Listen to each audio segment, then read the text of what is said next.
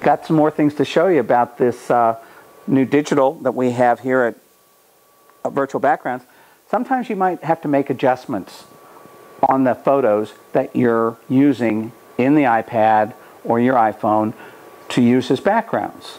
And you don't want to go back to the computer and come back and make those changes. Well, there's several programs out there that you can do this. One of them that I'm going to show you right now is Photoshop Express. It's, uh, I believe it's a free program for everybody, so that'll make some of you happy. There are add-ons, of course, just like anything else. But what it does is, for instance, let me take an image, and it's just a beautiful um, balcony, and you can enlarge it, look at it a little closer. But if you look right here, you can also see where you can make adjustments on this. Now, one of the neat things, it's got a uh, auto enhance, makes a change automatically. You can keep that if you like it, or you can change it back. Very simple.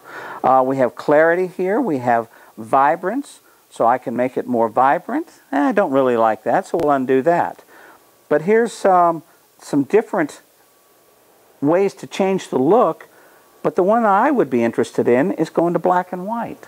Just that simple. It's now black and white. If I want a more contrasty and a little bit different black and white, there you have it. So we can do that very, very easily. And I'm going to take those and change them back.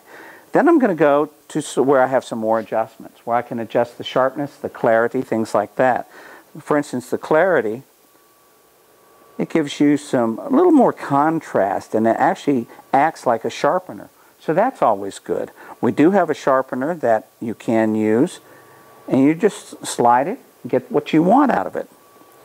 Uh, of course, exposure. Well, you can darken this down or you can make it way bright, whatever you need to do. So you can actually fix these images right here on your iPad with no problem.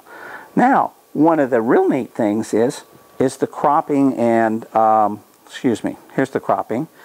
Uh, you can crop any way you want. If you want it to crop, if you want to move this over here and crop here, you can do that. Let's say it wasn't straight and you're having a trouble looking at it because it's not right. Well, gosh, I can change that so easily. Makes it almost seasick. Now, hold on. Let me cancel that and let me just undo that. Um, if I wanted to flip it, let's say I had my lights set up opposite and I don't want to move my lights, no problem. I just turn it around and now I have a different scene with the light coming in from, my main light coming in from a different source. Doesn't get much easier than that. Uh, there's some fancier ways of changing colors, turn it negative. Uh, just add some afternoon sun in it, different things. So these programs are available. This is one of the easiest ones that I have found to make quick changes on your iPad. It's a great program. Don't hesitate to, to use it. You'll like it. Thanks.